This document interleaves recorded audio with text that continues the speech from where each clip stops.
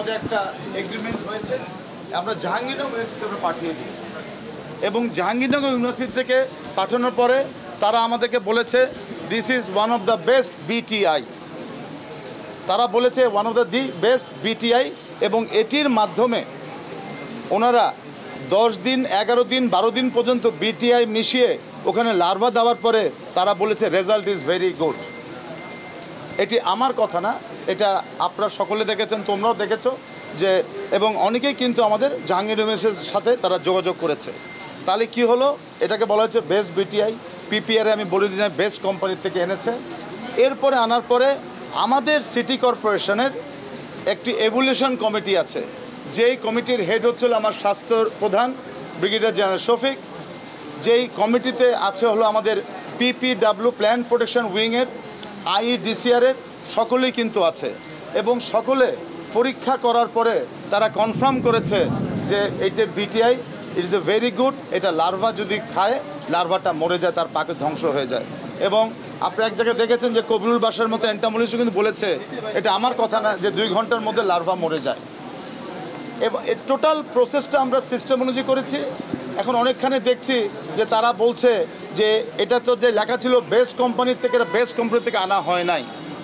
আমি কিন্তু পিপিআরে কোথাও বলে দিই নাই, টেন্ডারের মধ্যে এটা বেস্ট কোম্পানির থেকে আনতে হবে। আমার পিপিআরে ছিল বিটিআই এবং আপনাদেরকে জানাতে চাই তোমাদেরকেও যে তার মানে কি? আমি বলে দিই নাই, এখন আমাদের যে মার্শাল, তারা বলছে তারা বেস্ট কোম্পানি থেকে আনছে। আমি গত পরশুদিন আমার নলেজে আসার সাথে সাথে গত পরশুদিন আমাদের সিটি কর্পোরেশন থেকে আমরা মার্শালকে চিঠি দিয়ে দিয়েছি যে আপনারা কোনখান থেকে আনছেন? যেহেতু লেখা আছে manufacturing import from import from import from best company আপনারা আমাদেরকে সেটা দেন।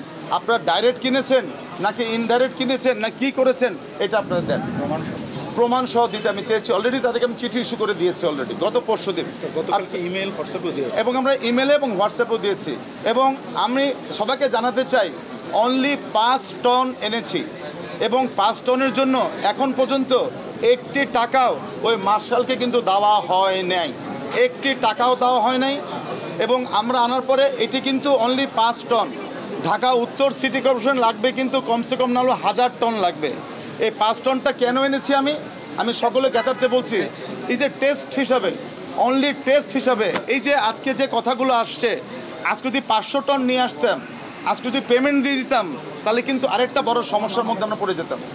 এবং আমি আজকে আপনাদেরকে সবাইকে অনুরোধ করব যে এখান থেকে আমার ভান্ডারে যে পাঁচশো টন আছে, আমি আপনার সকলকে অনুরোধ করব তোমাদেরকে, যে পাঁচ টন আছে, এই পাঁচ টন থেকে যে কোনো স্যাম্পল নিয়ে আমি কবিরুল বাসার এবং জাহাঙ্গীরনগরে ইউনিভার্সিটির অ্যান্টামোলিসকে আমি গুলশানে রেখেছি এখন।